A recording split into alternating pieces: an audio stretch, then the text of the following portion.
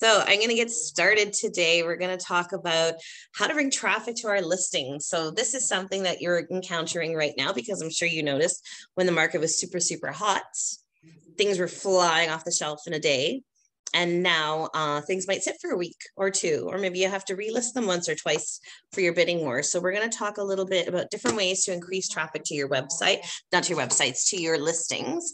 Um, of course, you want to uh, um, increase traffic to your websites as well, because that'll help your listings. But today we're going to specifically talk about listings. So uh, I have a couple articles. The first one is more focused on like uh, the nuances of actually increasing traffic to your listing itself um, and how you can load, I guess what we'd like to say, how to load a good listing, right? Um, so they say if a tree falls in the forest and no one's there, does it make a sound? If a house is really nice, but nobody looks at it, does it really matter how nice it is, right? So as real estate agents, we have to make that that noise. We have to make that noise for our clients. We have to push a really good listing out there. So it all starts with a few things. So pricing strategies okay? You have to know your pricing strategy well. You have to list it list it at a fair market price, which is competitive with all the other listings around. So the first thing is I always encourage people if you sign a listing today and you're going to load that listing next week, I always tell my clients, you know, we'll sign the listing paperwork today, but I'm going to check in on this a day or two before we're about to list it, even the day of, what as I'm listing it, because you never know what's happening in that neighborhood pocket around you. You don't know who else is going to load a listing or whatnot. So your pricing strategy has to be on point.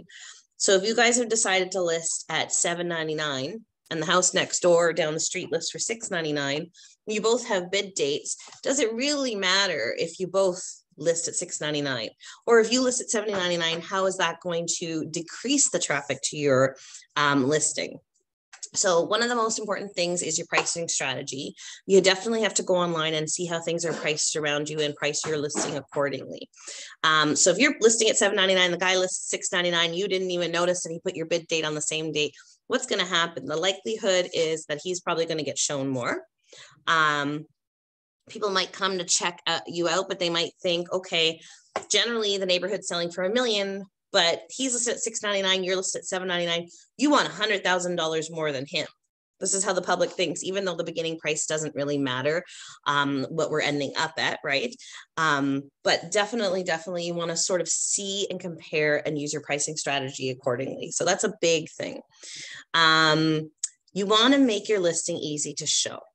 So this is a big thing that I talk to clients about. Um, I want to, at a minimum, they say MLS listing should read lockbox for easy showings, right? A lot of them put that because you don't know. A lot of agents hate go direct. A lot of clients hate go direct um, because you don't have the opportunity to walk through the property and take the time to talk about it because you're afraid to talk in front of the seller about their home because it's their personal home. Um, so you find showings go through a lot quicker. So unless it's really physically impossible, I generally encourage my clients to get out of the house for that showing. I want the lockbox and I want a free property for that agent to show with their client because they're going to take their time and they're going to walk through and they'll have longer showings for it, right? Make a more informed decision when they go. Generally, if they're seeing five homes and yours is a go direct and they're uncomfortable, they kind of fly through the home. They don't take that time to appreciate um, and remember it. So it's kind of like a blur in their in their memory, right?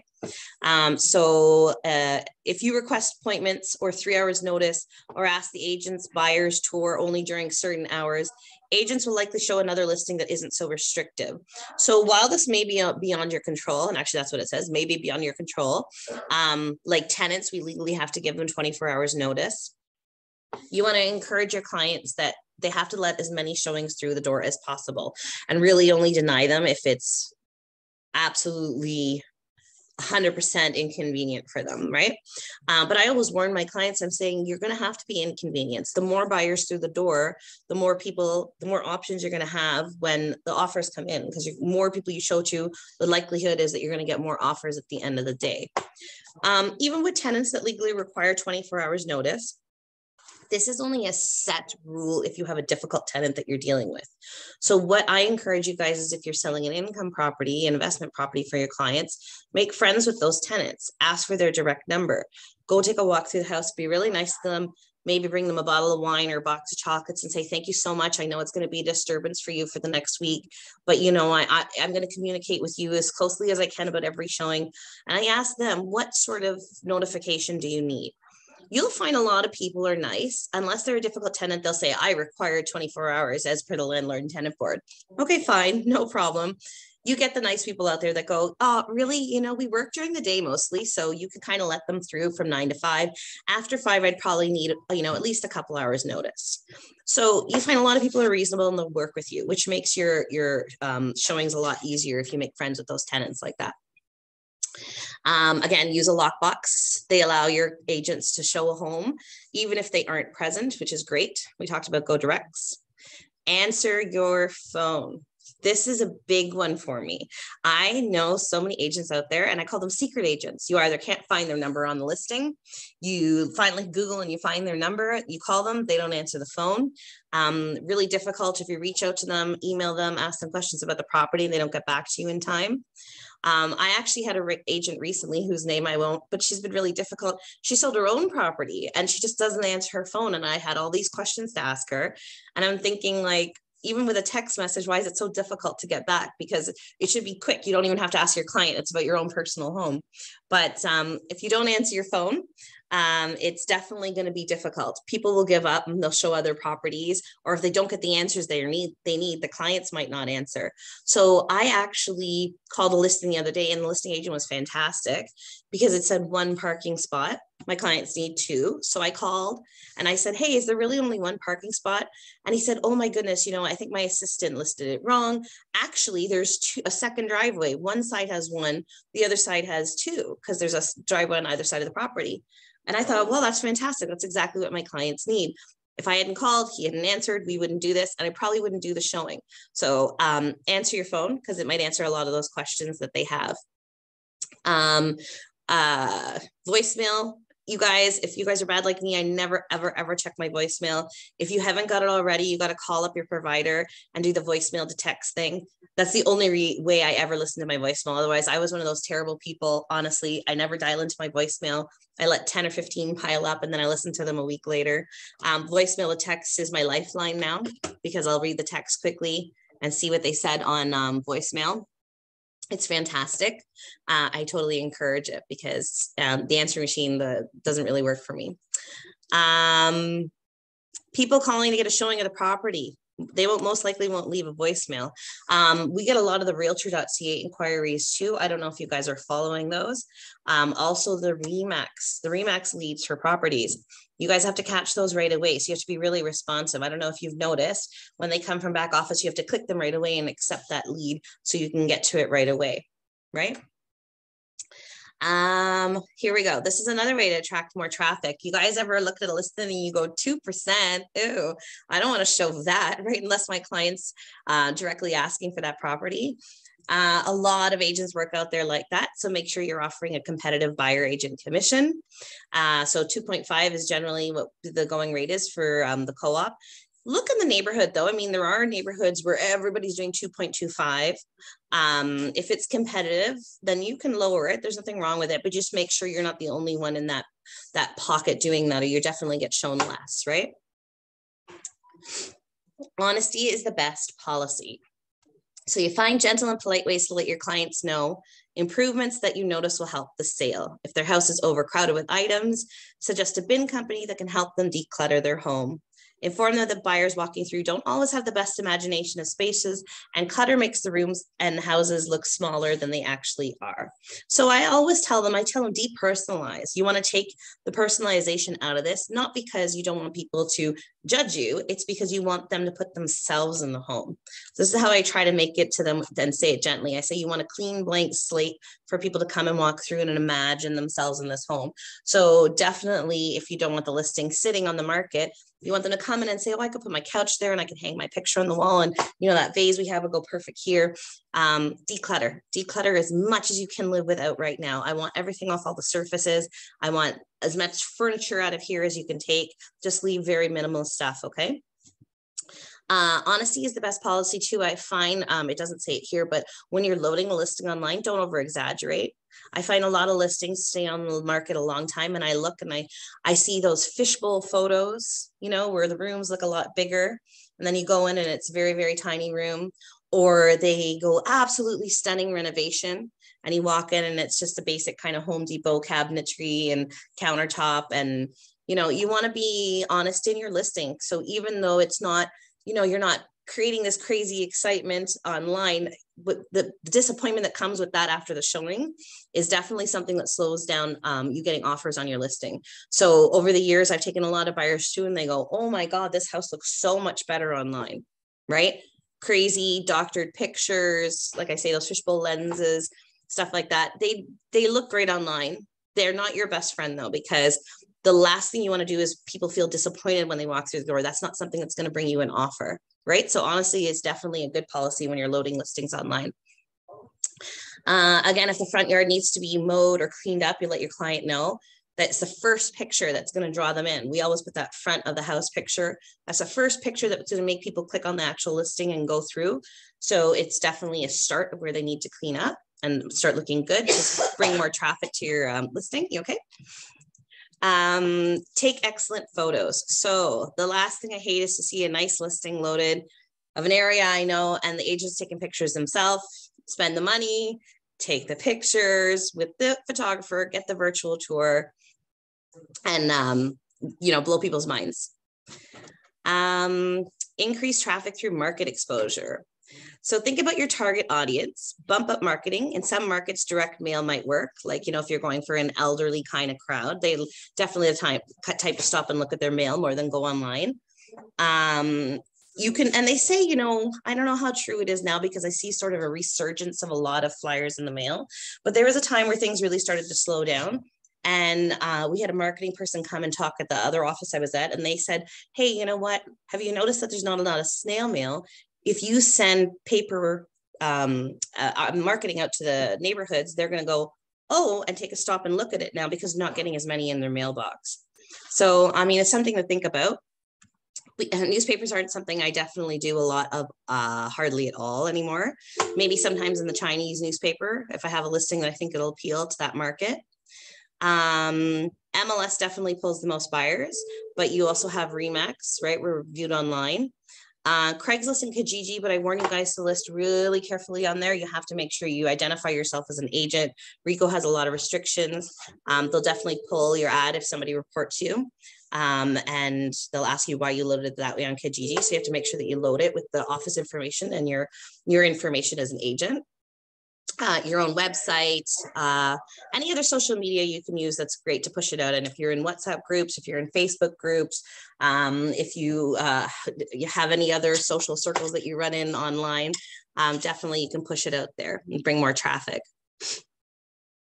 Um, this one says offer contests for agents or brokers. We don't see that a lot these days because things are flying off the shelf still fairly quickly, but you do see those different things where they offer like a commission incentive, you know, 3% if sold by November 1st, um, free TV if sold, you know, firm for your clients kind of thing, whatever, you can offer those things. Um, we'll see if the market slows down a little bit and we can push those a little bit more to help push our listings.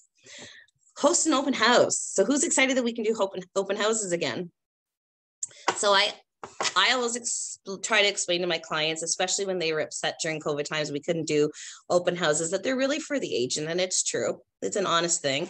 Um, very low percentage of houses are actually sold during the open house, but it is an excellent time for you guys to grab buyers. So if you publicize the event, you put uh, information out online, you're drawing people to that house, which is good. The likelihood that somebody might buy it is higher, definitely, but you're also grabbing a whole bunch of buyers from that. So make sure you're collecting all their information from the open house.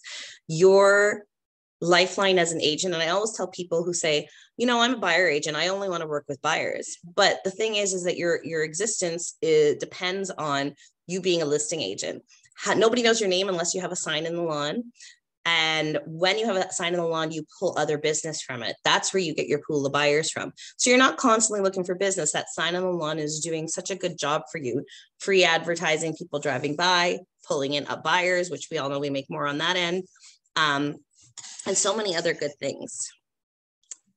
So send out e-flyers. I don't know how many people do that. I used to send out a newsletter every month. Um, I kind of stopped doing that and trying to send out more pertinent information, setting people up for searches. I found that was more than just passively sending out newsletters. But now I'm kind of getting back to it a little bit because Remax back office makes it so easy. You can set it up for your clients. So I don't have to think of the content every month. Um, so it's not a lot of time for me to do that passive marketing. So I think you guys should definitely look into it in the back office um, and advertise a limited time offer that buyers can snatch up if they act quickly. So, for instance, hey, you know, the hot water tank is a rental, and if you hurry up and come and buy this property, um, we're going to pay the hot water tank rental for the next year or two, which isn't really that much. Generally, they're about $30 a month. Not a huge cost to your clients, but it definitely attracts people to come in, feel they're getting something for their money and co-op your advertising. So check with other professions. Um, so you can pool together you with a mortgage agent or a home inspector or something and push out marketing together. So it lowers the cost for you, but you get out to a bigger market that way. So that one I kind of went over quickly, quickly, because I want to just go focus on ways to increase traffic directly to how you're loading a listing and how you're dealing with as an agent. Um, does anybody have any questions there so far? Okay, so I'm going to go on real quick. Um, the biggest mistake I see when people have listings uh, up for a long time is that they um, don't do certain things. Okay, so I'm going to show you mine. Purposely, I left up. I'm going to fix it today um, to show you how you're not increasing traffic. So the first thing is if you have done a listing and you've loaded it, one second here, let me just share my screen. I don't think that's shared properly. Okay, so you've loaded a listing, okay? Uh, you've put it up and it hasn't gone the first week for your bid date. It's not a problem. It happens to everybody. It just happened to me. So my listing has been loaded and I haven't reloaded it. Okay, I'm going to do so today. I thought I talked to my client about it yesterday. We sort of strategized what we're going to do. And I just left it up today to show you guys biggest mistake here so far. I haven't gone in and adjusted the price and taken off my bid date instructions, right? So we see a lot of those. Those automatically show sort of a failed listing, right? In, in the sense that it didn't go the way we wanted it to go. We didn't get our offers or we didn't get what we were asking for. So this tells what? A couple of things. If you have a buyer asking about this property, you're going to go, hey, it didn't go when it was supposed to on its bid date. Maybe we can get a good price for this, right?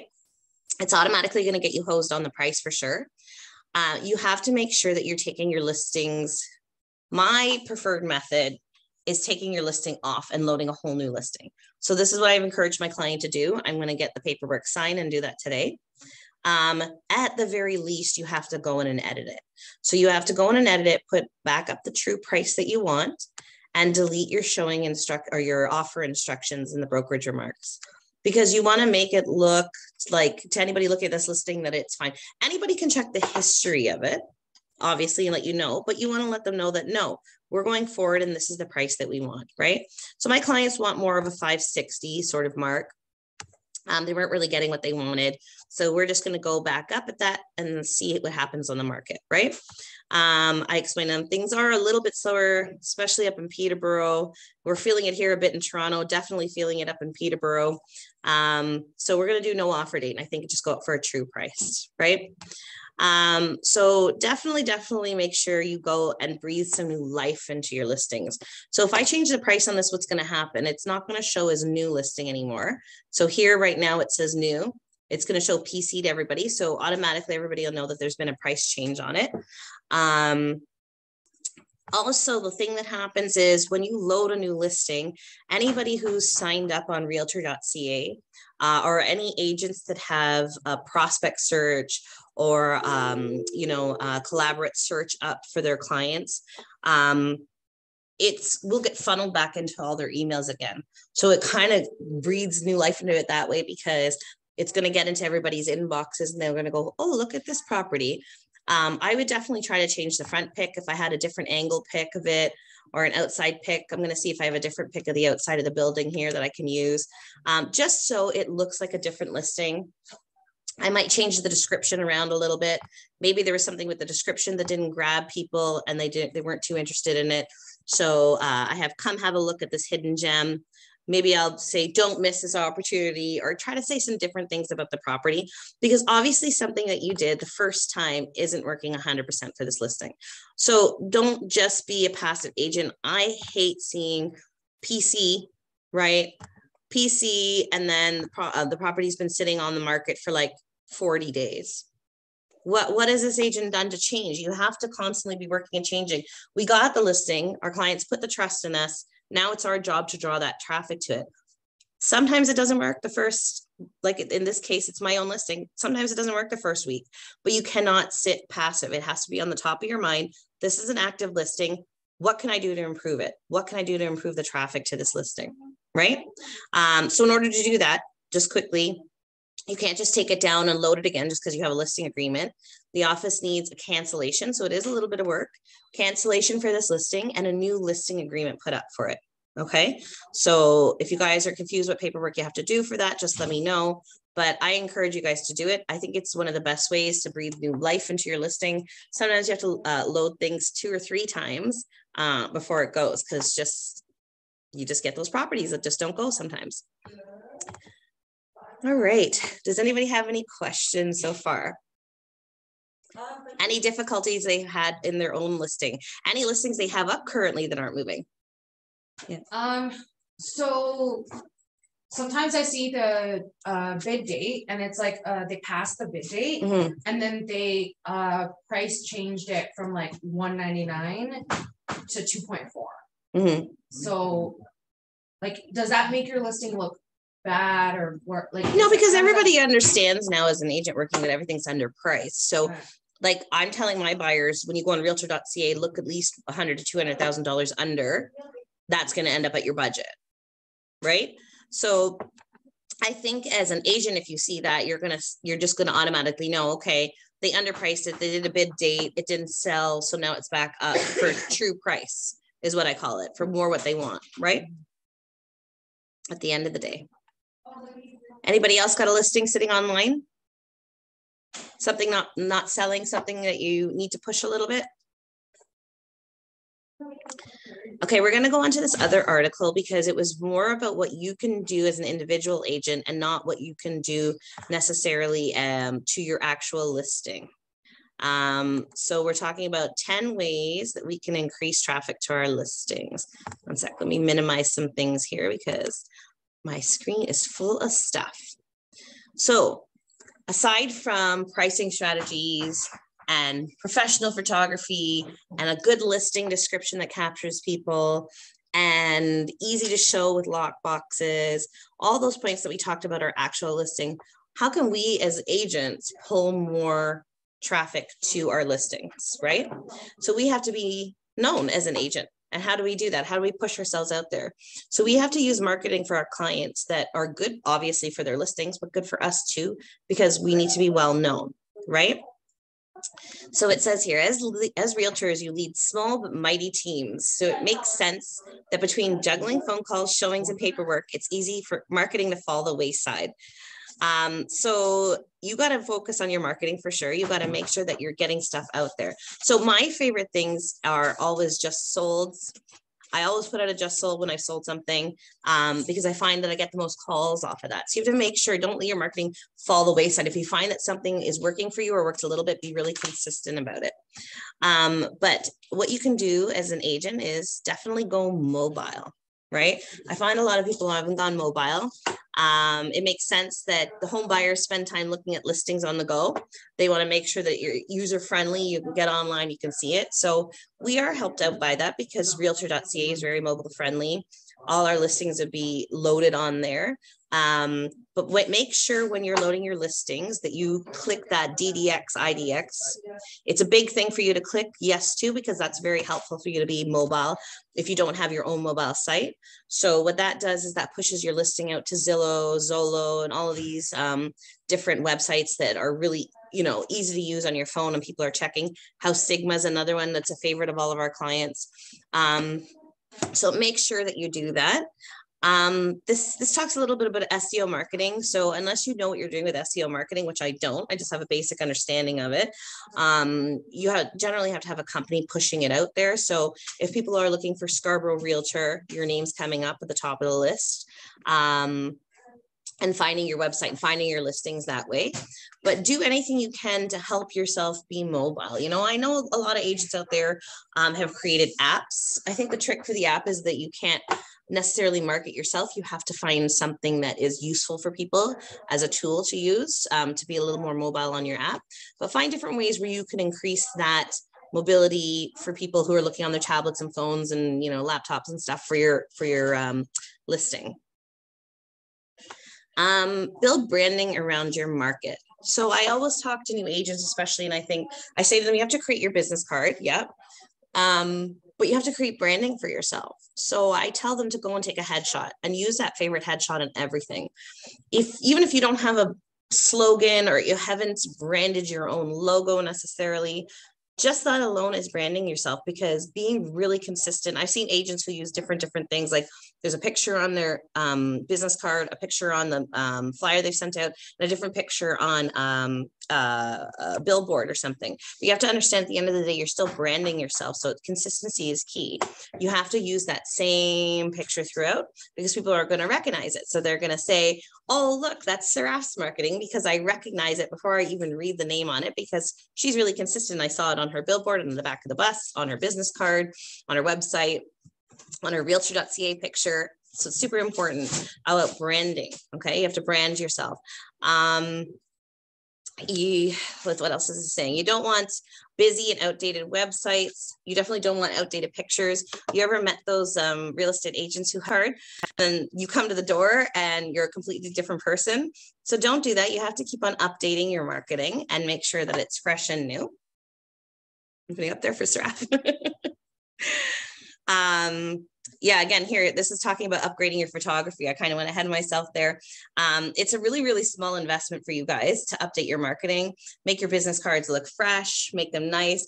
Um, I see a lot of people use um, just the basic business cards that, you know, the, the some of the offices give free or like your uh, your printer just designs you quickly try to do something that leaves a lasting impression because you got to remember at the end of the day every time you're handing out or talking to somebody you're give, you're leaving a lasting impression for them.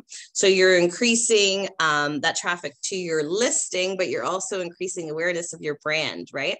So you know i did things like that soft touch on our business card or the you know curved edges. I get a lot of compliments on it. A lot of people talk about it. I've seen some people do the foil make the logo pop uh, do something something that makes you stand out a little bit more than the rest of everybody.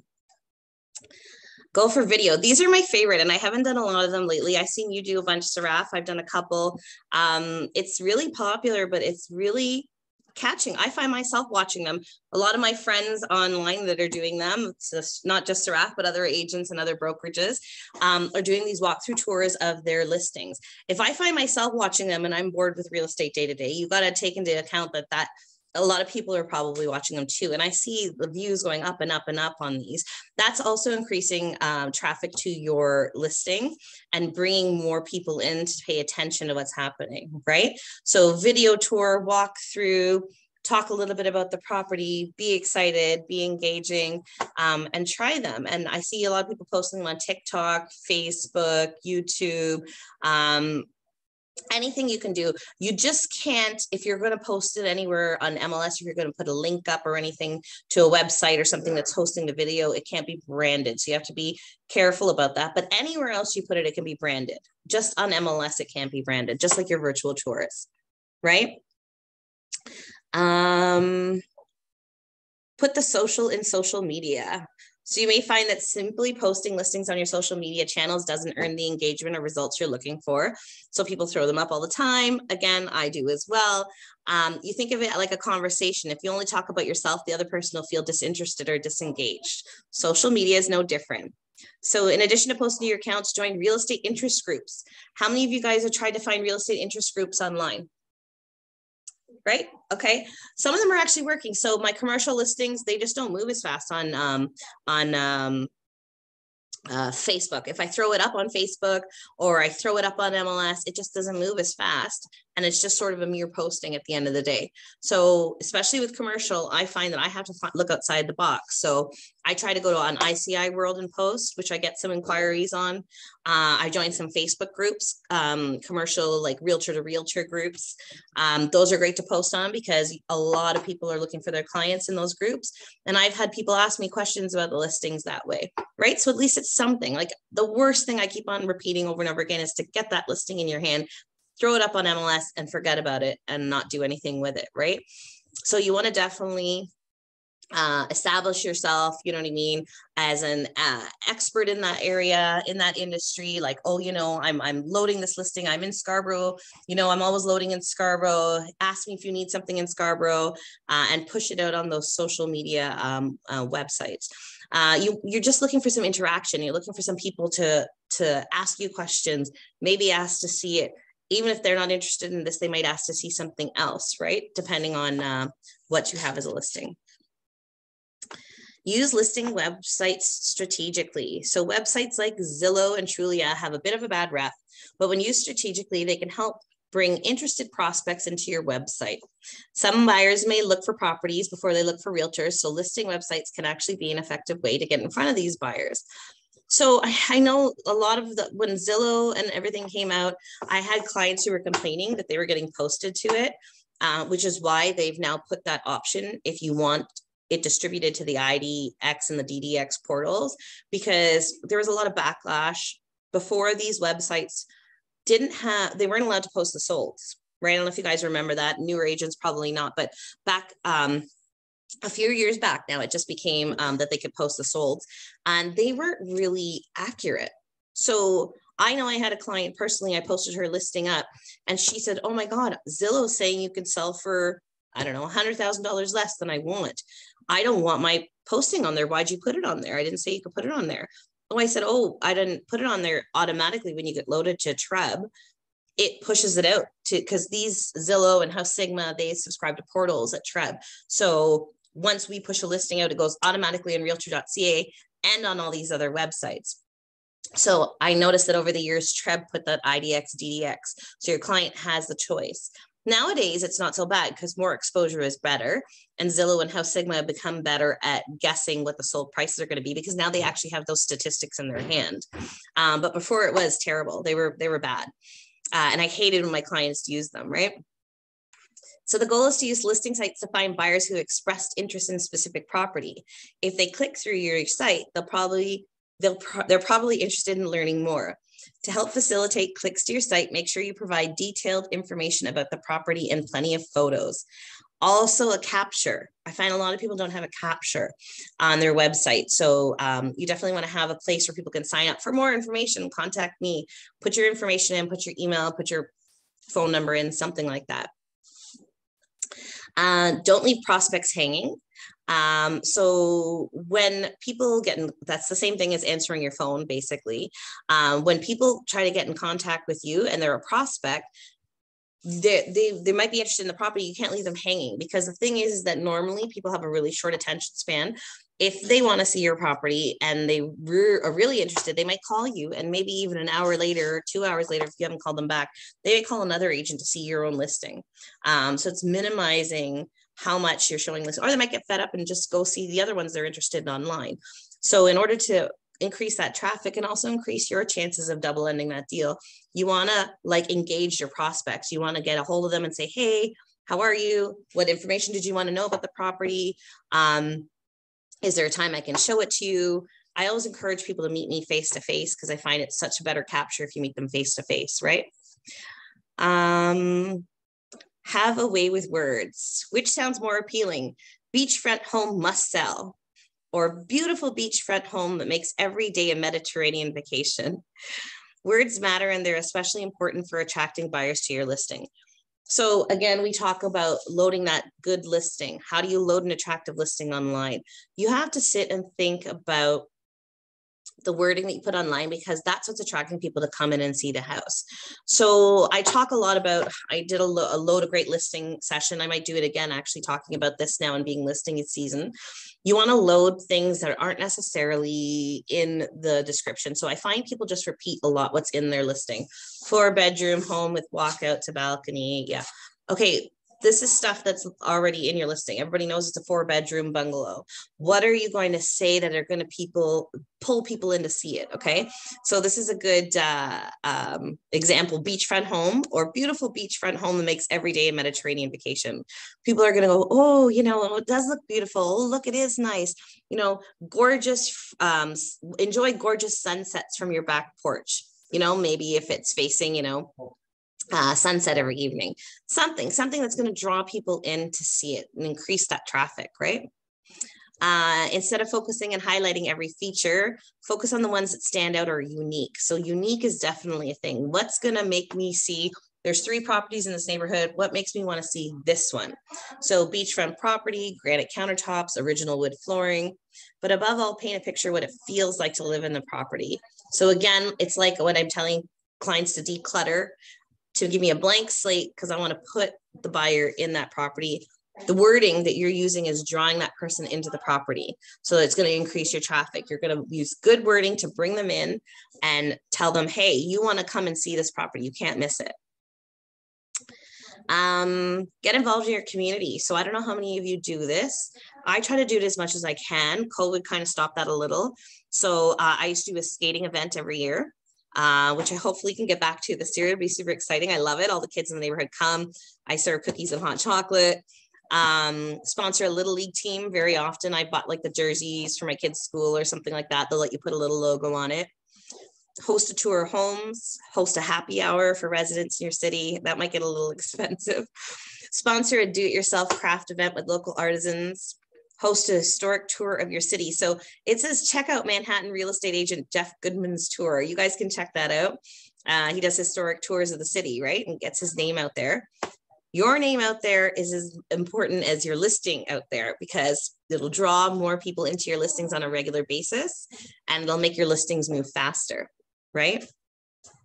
Uh, stay top of mind after closing. It's easy to fall off past clients' radars after closing, but don't forget the importance of referrals for generating traffic to your listings. Uh, by maintaining strong relationship with past clients, you can stay on top of the mind. I don't only find it's just for referrals, I find it for it's for the client themselves. So you'd be surprised. A lot of times I've called back clients and said, Hey, you know, I know I sold you this property like five years ago and I have a really good investment for you guys. It's in the neighborhood and I think it'll be really good. And the kids are getting older now and you probably need something for them. Do you maybe want to look at this and invest?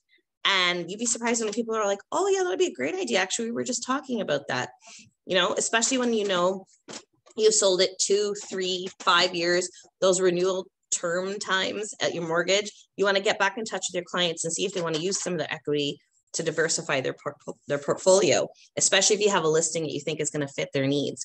Um, I have uh, flipper clients that I work with, contractor clients. I'll call them every time I get a, a fixer upper.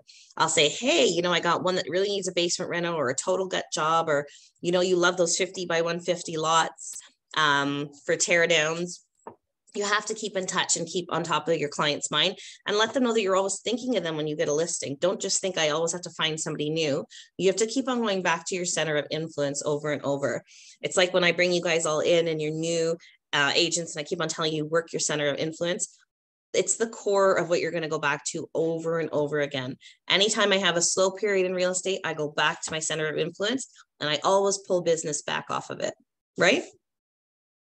Um, and it just says a couple of ways to, you know, stay on top of your client's mind after closing. So thoughtful housewarming gifts. So think of things that they really, really like. Um, and uh, what they want to wait maybe while you're walking through client um, um, properties with your clients um, there's something that there's a theme that keeps on coming up so i know that one of my clients recently whose closing is coming up at the end of the month she kept on talking about this mirror that we saw in a couple of stage properties so I've been trying to call and source this mirror for her because I thought, what a neat idea if I get her that mirror for closing, right? So something thoughtful, like it is nice to give that bottle of wine or the box of chocolates, but it's nicer to personalize it. Uh, I know clients uh, were laughing one time we sold a house in Pickering and the chandelier in the dining room was excluded, which they were aware of and was fine. But they literally put back the absolute worst like fixture ever. It wasn't anything nice that you'd put over your dining room table. Uh, so we ended up purchasing a uh, you know a pretty chandelier after closing. Um, and uh, yeah, they were really happy with that. So something personal, think of something personal. Uh, content, again, you can share content with them, a regular newsletter, Remax makes it so easy in the back office to share content now. You don't even have to think of it, and it's totally logoed. It looks like it's coming from you and not a generic Remax thing. So definitely check it out. Um, and warm fuzzies. People love feeling special. So remind past clients that you're thinking of them. You can send wishes on major holidays, their birthday, um, you know, something just to let them know that you're definitely keeping them in the top of your mind. So if you guys, let me just stop the share here now. I feel like I talked and talked. It was a lot of content. It was two articles and a little bit of uh, Stratus training there. I thrown at you this morning, but just let me know if you have a listing that's sitting and you don't know how to push it, just let me know. Just give me a quick call. I can look it up online and I can help you maybe reword wording, think about how to strategize going forward. And push that listing because I got to say the worst feeling in the world is losing a listing. It's the last thing you want to do. Don't give up if it doesn't go the first week or if it doesn't go for what you wanted it for or it doesn't your your listing doesn't go necessarily how you anticipated, I guess I should say. The last thing you can do is just be really passive and leave it and be frustrated with it and not touch it. And then it expires and then it goes to another agent, right? You want to take it, you want to relist it, you want to push it, you want to change the wording, you want to change the photography you want to do something that lets you get that sale at the end of the day because you already put in the effort to nurture your lead to get that listing appointment to get your paperwork signed to put the effort of loading that listing in so you want to reap the rewards of that now right you don't want to lose listing at the end of the day and you don't want it to not sell and just expire and your client decide to take it off the market right you want to get the sale at the end of the day so is everybody good there online I'm trying to get somebody in. Uh, I'm trying to speak to a couple lawyers right now because I want to get somebody in to talk to us about new foreign tax, right? So we all have a better understanding and how it goes where clients ask us. So I'll keep you guys posted when that's coming up. Hopefully, I can get a Thursday evening or a Tuesday morning with one of these lawyers. They're busy people. Um, but yeah, everybody enjoy yourselves this week and let me know if you need anything. Very nice seeing all of you this morning. Bye, guys. Thanks, Christine. Bye. Thank you, VG. Bye bye.